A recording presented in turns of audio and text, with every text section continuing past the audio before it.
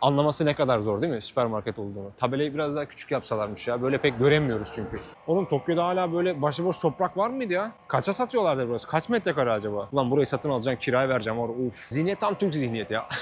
Burada ne böyle liseli kıyafeti giymiş ablalarımız. Müşterilerimizi bekliyoruz diyorlar. Nasıl bir müşteri bekliyorlar bilmiyorum ama oh DVD satışı varmış. Bana da satsanız da 3-5 tane.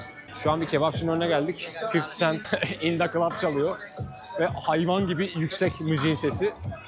Agalarımız akıtıyor ya. Türkler Japonya'da coşturuyorlar vallahi. Burada polis abiler var. Ne olmuş acaba ya? Kavga falan mı çıktık? Japonya'nın çalışma prensibini de sizlere göstermiş olalım arkadaşlar.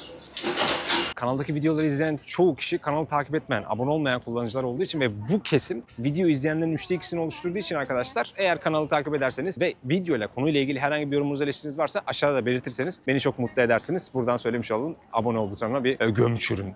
Hepinize merhaba arkadaşlar. Ben Feridun ve yanımda SK yok. Yine yollardayız, sokaklardayız. Daha doğrusu şu an oldukça büyük bir parkın içerisindeyiz. Bu parktan çıktıktan sonra daha merkezi insanların çok kalabalık olduğu bir yere gideceğiz. Biz şimdi nereden devam edelim? Düz devam edelim. Sola dönelim olmazsa. Ve şu an bulunduğumuz bölge ise Ueno Parkı, Ueno bölgesi olarak geçiyor. Ben bugün sizlere yine sohbet, muhabbet edip belli başlı konulardan bahsederken birlikte gezip görüp keşfettiğimiz güzel bir içerik olmasını diliyorum. Ayrıca geçtiğimiz videolarda insanlar genelde bu ne ya hiç insan yok Japonya sokakları niye bu kadar boş falan filan diye şikayet ediyorlardı ama onun en büyük sebebi benim video çektiğim yerler dolayısıyla olabilir arkadaşlar. Zaten çok merkezi yerlerde olmazsanız eğer çok fazla insan olmuyor. İnsanlar hanami yapıyor. Yani hana çiçek, mi görmek anlamına gelen ve ikisi bir arada yazdığın zaman hanami anlamına gelen ağaçların altında oturup bir şeyler yiyip içerken böyle sohbet muhabbet ettikleri, güzel güzel vakit geçirdikleri alanlar, sosyalleşme bölümleri, vakitleri olabiliyor. Hani burada biz video çektiğimiz için çok garip gözlerle bakılmayız. Neden diyecek olursanız çünkü çok fazla turist var. Herkes yemeye, içmeye, eğlenmeye, güzel güzel vakit geçirmeye gelmiş. Yerdeki kiraz yapraklarını da görüyorsunuzdur muhtemelen. Burada çöp kutularımız var yine. Japonya'da bahar geldiği zaman insanlar genelde baharı bu şekilde kutluyorlar arkadaşlar. Ağaçların altında böyle yiyip içip sohbet, muhabbet ederken günlerini gün edip gerçekten hayatlarının en güzel dönemindeki baharı geçirmeye, eğlenmeye çalışıyorlar. Videonun giriş kısmını özellikle bu parktan yaptım ki insanlar böyle güzel yerleri gördüğü zaman işleri rahatlasın, ferahlasınlar. Her seferinde biz çünkü çok şikayet alıyoruz insanlardan. Sürekli apartman çekiyorsun, insanların yaşadığı yerleri beton gösteriyorsun falan diye. Hazır biz de buraya gelmişken bir tane sakura fotoğrafı çekeyim şurada. Şu an Japonya'da inbound denilen bir olay var arkadaşlar. Genelde bu bahar öncesi işte Mart'ın ortalarından Mayıs'ın sonu, Haziran'ın başına kadar kullanılan bir kelime var. Yurt dışından gelen insanların, turistlerin gezip dolaştığı, Japonya'da deli gibi para harcadığı bir döneme denk geliyor. Buranın manzarası aşağısı Ueno Parkı olarak geçiyor. Yine ileride bir tapınak var. Burada ayrıca başka bir tapınak bulunuyor. Biz içeri girmeyeceğiz, fotoğraf çekmeyin diyorlar çünkü. Gerçi fotoğraf çekmek yasak diyor. Video yasak yazmıyor ama neyse başımıza problem almayalım biz. Bu tapınağın olduğu kısmından eğer önümüzdeki ağaçlar olmazsa çok geniş güzel bir alan bölge var ama maalesef gösteremiyorum şu an sizlere tam orayı. İnsanlar da zaten burası fotoğraf bölgesi olmuş. Toplanıp güzel güzel fotoğraflar çekiyorlar. Biz şu merdivenlerden inelim. İleride parkın göbek kısmı var. Oradan çıktıktan sonra Ueno'nun göbeğine gideceğiz. Yine böyle sokak yemekleri vesaire olan oldukça fazla işletmenin bulunduğu güzel dar bir ara sokak var. Ameyokoçu olarak geçiyor. Orayı da sizlere göstereceğim. Ve anlatmak istediğim şeyden sizlere videonun ortalarına doğru anlatmaya çalışacağım. Geri zekalı mıdır nedir ya? Bak burada böyle sakura yaprakları düşüyorken insanlar fotoğraflarını falan çekiyorlar. Çok güzel ya bu şekilde eğlenebiliyor, güzel vakit geçirebiliyor olmaları. Az önce yukarıdaydık. Yukarıdan sizlere gösterdiğim yer. Şimdi buradan dar bir yere gireceğiz. Bu gördüğünüz sağdaki soldaki restoran gibi küçük arabalarda vesaire olan böyle tezgahlar, mutfaklar bulunuyor. Bunlara Japonca'da yatay deniyor arkadaşlar. Fiyatları genelde 500 yen ile 1000 yen arasında değişiyor. Ne yemek istediğinize de bağlı tabii ki ama ben sizlere şöyle yakından göstereyim. Bak burada çöp şişi var mesela. Bir tanesi 200 yen, 3 tanesi 500 yen diyor. Çöp şişlerimiz burada hazır. Ne olduğu yazıyor. Çincesini, İngilizcesini, Korecesini her şeyini yazmışlar. İnsanlar bu tarz böyle küçük masaların üzerine oturup güzel güzel vakit geçiriyorlar. Takoyaki dediğiniz sizin animelerde çok gördüğünüz bak 700 yene satılıyor bunlar. İstediğiniz şeyi içine koyup yiyebiliyorsunuz. Bir de şu turistler Japonya'nın kurallarını öğrenseler, soldan yürüneceğini her zaman bilseler hiçbir sorun sıkıntı olmayacak ama maalesef problem olabiliyor. Bak burada yakisoba var. Yakisoba dediğimiz aslında kızartılmış makarna gibi düşünülebilir. Özel bir sosu var. Tare sosu olarak geçen ve lahanayla birlikte, yakılmış lahanayla birlikte servis edildiği için tadı oldukça güzel oluyor ve doyurucu oluyor. Burada ne varmış? Bu muhtemelen domuz eti arkadaşlar. Aa, peynirli olanı var. Ayrıca balıklı olanı var. Domuz etli olanı da varmış. 600 yen. Burada kebapçınız var. Fiyatlar çok da pahalı değil. 700 yen. すいません。はい。じゃがもう先買ったんですけど、はい、お箸はありますね。あ、好きなだけ持ってって。 Bu benim Ueno'da çektiğim kaçıncı içerik oluyor acaba ya? 3 olması lazım galiba. Genelde bahar döneminde geliyoruz zaten buraya. Burada şeker elmamız var. Küçük küçük böyle çöp şişleri, küçük elmalar da takmışlar. Oldukça tatlı görünüyor. Oldukça tatlı görünüyor ve istediğiniz kadar şeker üstünü kaplayabiliyorsunuz. Geldik yine tapınma. Şu kalabalığa kaldı ya. Burada şu an bulunduğumuz bölgede Türkiye rast gelme ihtimalimiz çok fazla çünkü Japonya'nın en fazla turist alan dönemlerinden birisindeyiz. Oh müşterilerle sohbet muhabbet eden dayımız da burada. Millet yemeğini yiyor. Masalar boş ya. Niye böyle acaba? Hafta içi olduğu için mi acaba? Oh şu manzaraya, şu güzelliğe bak. Kiraz çiçekleri mis gibi yapraklarını açmış. Çok güzel görünüyor ve şunun bir fotoğrafını çekin dur. Aslında gelebilseydim ben buraya Seika ile gelmeyi istiyordum arkadaşlar ama maalesef tatillerim çok fazla uyumlu olmadığı için ve artık bahar döneminde biteceğinden dolayı ben gelmezsem muhtemelen bu sene Sakura göremem diye düşünüp tek başıma geldim. Gezip dolaşıp eğlenip sizlere de içerik hazırlamaya çalışıyorum. Onlar balık mı lan? Balık, balık, balık, balık, balık. Burada binebileceğiniz sizin botlar var. Ördek şeklinde. Biz daha önce Seika ile bunlara binmiştik. Ben hayvan gibi pedallamıştım. Seika da korkmuştu. Yıkılacağız, yapma suyun içine boğulacağız diye. oh geldik yine bu güzel, dar ve sakura ağaçlarıyla bezenmiş mis gibi yola. Yalnız yine bu videoya gelecek olan yorumları tahmin edebiliyorum. Giriş kısmı çok uzun olmuş. Boş konuşmuşsun. Ne anlatıyorsun bu kadar? Konuya gel, özete gel diye. Bunu her videoda söylüyorum. Yine de söyleyeceğim arkadaşlar sizlere. Zaten videoyu belli başlı zaman aralıklarına ayırdığım için hangi dakikada ne anlattığımı sizler aşağıdan videonun üstüne geldiğiniz zaman falan görebiliyorsunuz. Biz ta oradan yukarıdan geldik bu arada. Şimdi buradan yoldan devam ediyoruz. Ueno'nun göbeğine doğru gideceğiz. Bu abla model mi ya? Model gibi biraz ama bilemedim. Bu arada artık her videoda geleneğimiz, göreneğimiz oldu. Söylemeden de edemeyeceğim. Kanaldaki videoları izleyen çoğu kişi kanalı takip etmeyen, abone olmayan kullanıcılar olduğu için ve bu kesim video izleyenlerin üçte ikisini oluşturduğu için arkadaşlar eğer kanalı takip ederseniz ve videoyla, konuyla ilgili herhangi bir yorumunuz, eleştiriniz varsa aşağıda belirtirseniz beni çok mutlu edersiniz. Buradan söylemiş olun. Abone ol butonuna bir e, gömçürün. bu arada bugün sizlere bahsetmek istediğim konu ise Japonya önümüzdeki seneler için geçtiğimiz günlerde yaptığı, hazırladığı bir yasa tasarısını duyurdu. Japonya 800 ila 850 bin kişi arasında bir işçi alımı olacak. Bu işçi alımı hangi sektörde olacak, bu kişiler ne gibi işler yapacak vesaire gibi konuları buradan sonra yine ben sizlere anlatıp konuyla ilgili bilgiler vermeye çalışacağım. Çünkü biliyorsunuz Japonya son zamanlarda nüfusu azalmaya başladı, ekonomi, dolar aldı başını gidiyor vesaire derken e, adı T olan bir ülkeye benzemeye başladı. Acaba hangi ülke? Tazmanya mıydı? Transilvanya olabilir belki. Burada biz o yolu komple yürüdük geldik böyle yeşil kubbeli bir yer var tapınak görüyorsunuz. Oradan çıkmıştık. Onun yanında bir tane daha yeşil var. Oranın ta üstünden böyle aşağı yürüyerek gezdik dolaştık. Sohbet ede de buralara doğru geldik arkadaşlar. Korona döneminden bugüne aslında Japonya çok fazla turist girişi vesaire olmadığından dolayı dolar Japonya'nın karşısında bayağı güçlü şu an. 1 dolar 152 yene geliyor. Ben Japonya'ya geldiğim zaman 1 dolar 108 yendi. Aşağı yukarı 40-45 yenlik bir artış olmuş. Ve umarım bu yenin dolar karşısında değer kaybedişi sürekli olarak devam etmez. Çünkü gerçekten Japonya'da yaşayan vatandaşlar da artık bu konuyla ilgili olarak isyan etmeye başladılar. Japonya nasıl bir gelecek bekliyor bilmiyorum ama herkes gerçekten bu konuyla ilgili olarak oldukça endişeli. Şuradan mı gidecek? Ama bizim gitmemiz gereken yer orası değil ki sol taraf. Ama ara sokak gözüme çok güzel göründü. O yüzden sizleri şurada ilerideki ara sokağa götüreceğim. Bunlar da taklacı güvercinlerimiz. Ama takla atmıyorlar. Eminim şu an geçtiğimiz yol, sokak geceleri ışıl ışıl, cıvıl cıvıl oluyordur ya. Havalar zaten biraz daha ısınsın. Ben burada video çekmeyi düşünüyorum. Burada derken bu mahallede, caddede değil tabii ki. İçinde bulunduğumuz Ueno bölgesinde. Ama şu an hava hala serin olduğu için akşam çekim yapmak bilmiyorum. Biraz yorucu olabilir soğuk olacağından dolayı. Yani zaten Nisan'ın sonlarına doğru akşam videoları, gece hayatı videoları, yollarda, sokaklarda gezip yine böyle Japonya'nın, Tokyo'nun göbeğinin gece hayatını anlattığım sizlere videolar çekmeyi düşünüyorum. Burası bir süpermarketmiş.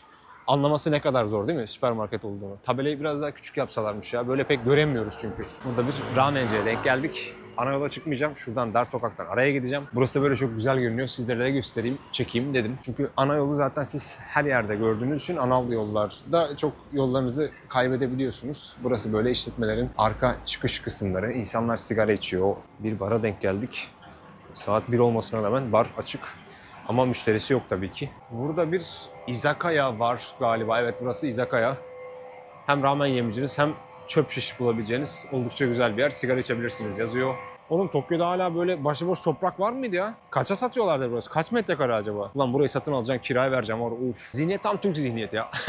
Burada buradaki işletmelerin çoğu henüz açılışını yapmamış. Akşam üzerine hazırlık yapıyor çoğu işletme. Az önceki bar gibi erkenden açan insanlar pek görmedik. Yollar sandığınız kadar temiz değil maalesef. Bir de ben kanala gelen yorumlarda ayrıyeten insanların dikkat ettikleri şeyler arasında birkaç şeyi fark ettim. İnsanlar çok fazla etrafı inceliyorlar, bakıyorlar. Yani ben hani video çektiğim için mi fark edemiyorum, göremiyorum bilmiyorum ama hani önünden geçip video çektiğim yeri görmediğim bir köşesini abi işte sol üst köşede mesela Türkçe işte bir şeyler yazıyordu vesaire gibi şeylerde farklarına varabiliyorlar. Ben genelde bizim kanaldaki videoları izleyen kısmın izlemediğini de oyun oynuyorken ya da iş yerinde vesaire arkada açıp böyle ikinci monitörde falan dinlediklerini düşünmüştüm ama videoyu izleyen çok büyük bir kesim varmış. Bu beni mutlu etti açıkçası arkadaşlar. Burada ne böyle liseli kıyafeti giymiş ablalarımız müşterilerimizi bekliyoruz diyorlar. Nasıl bir müşteri bekliyorlar bilmiyorum ama bu arada sonunda Amerika Çağı gelebildik arkadaşlar.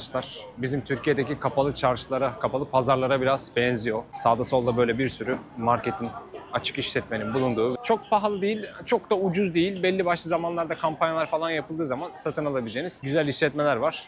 Buradaki insanlar artık turistlere alışmış durumdalar. Neden diyecek olursanız çok fazla Asya'dan turist gelip burada alışveriş yapıyor ve Asyalı olup da burada işletmeye sahip olan çok fazla kişi var genelde. Fiyatlarını da zaten üstünde görebiliyorsunuz. Bak ben sizlere özel kampanya yaparım falan diyor satmaya çalışıyor.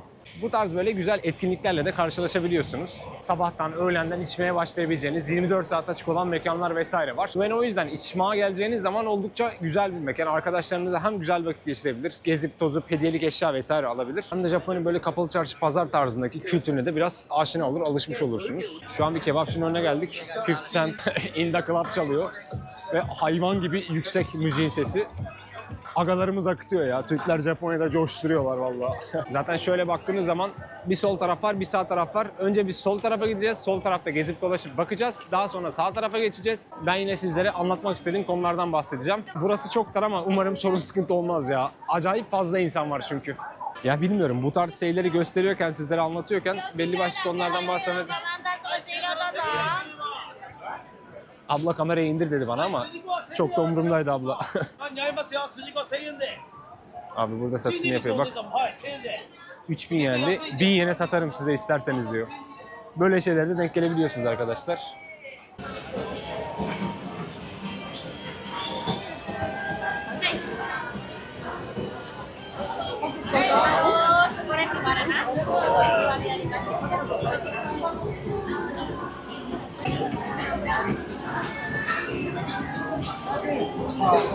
嗯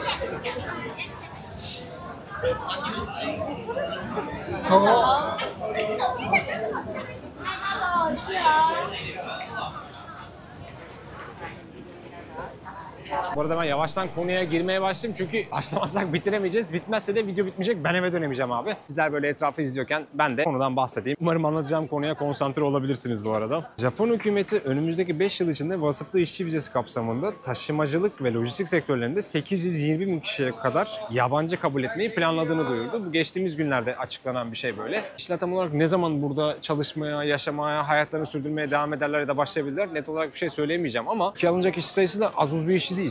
820 bin kişi diyor.